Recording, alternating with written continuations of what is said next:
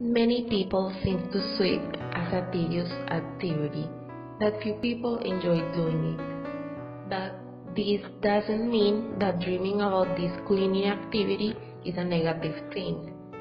Also, not what we dream of sweeping, you can get to be a very good omen.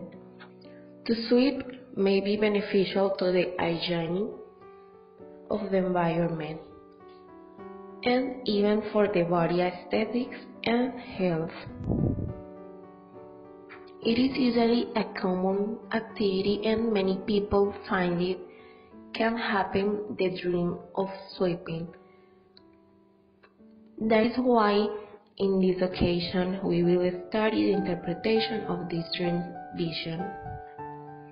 Just like in our daily lives, the dream with a broom or with things with regard to the cleaning as the dream of sweeping the house is the symbolism of getting rid of the impurities or what we dislike our subconscious.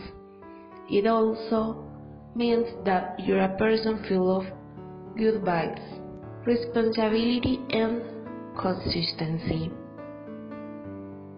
In the same way, you can foreshadow a significant improvement in your working life and economic.